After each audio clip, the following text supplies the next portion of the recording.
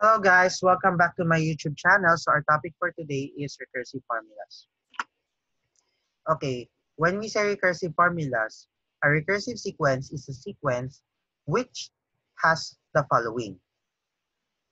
It is a starting point and a rule that can be used to generate succeeding or successive terms in the sequence. When we say the starting point, it is the very first term of the given sequence.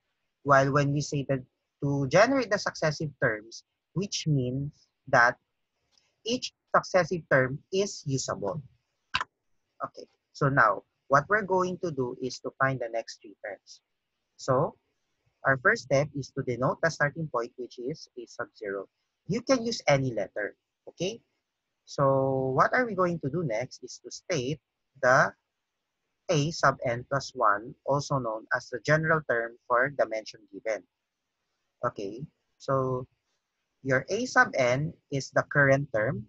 Then what are we going to do is to add by 2, since our rule is to add 2. So shall I state that a sub 0, also known as the starting point? Okay, so this is 7. So what are we going to do here is to look for the next three terms.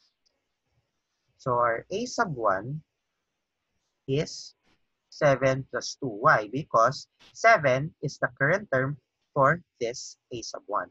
So your 7 plus 2 is equal to 9. Then what are we going to use as the current term for a sub 2? So the current term we're going to use is 9. Then we're going to obey the same rule. So the sum of these two numbers is 11. Then for a sub 3, our current term is 11, then what are we going to do is to obey the same rule.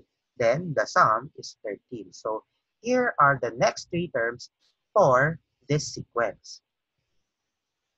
Okay, in numbers 2 and 3, we're going to do the same thing. Okay,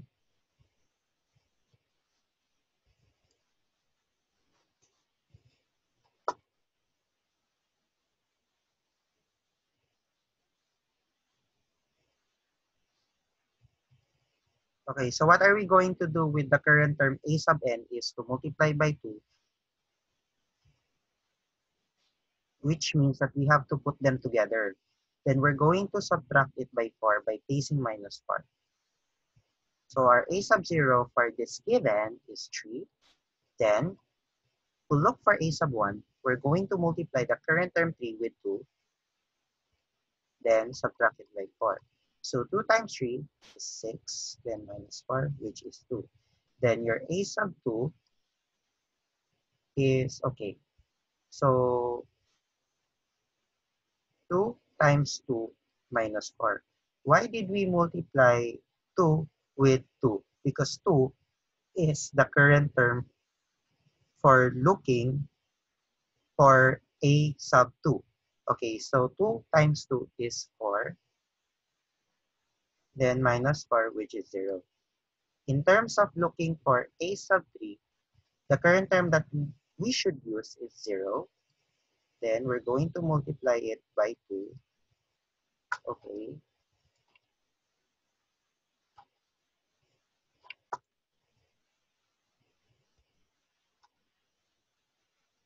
So 2 times 0 minus 4. So 2 times 0 is 0. Then minus 4, which is negative 4. So here are the next three terms for this second example. So here, the starting point is 100. Then we're going to state the formula. So what we're going to do is divide a sub n by 5, then subtract it by 5. So what are we going to do here is to mention the starting point. Then to look for a sub 1, we're going to divide 100, the current term, then with 5. Then what are we going to do? Subtract it by 5. So 100 divided by 5 is 20. Then subtract it with 5, which is 15. Then what are we going to do is to change the current term, which is 15 now. Then what are we going to do is to divide 15 with 5 then subtract it with 5. Then 15 divided by 5 is 3. Then subtract it by 5 is negative 2. Then what are we going to do for a sub 3 is use the current term negative 2 then divide it by 5 then subtract it with 5 so since these are fractions okay so what are we going to do is to add them because both are negative so negative 2 over 5 minus 5 which is negative 5 2 over 5 or negative 27 over 5 so thank you happy learning god bless you do not forget to hit the like button and the subscribe button. Do not forget to subscribe my channel. Thank you. Have a good day.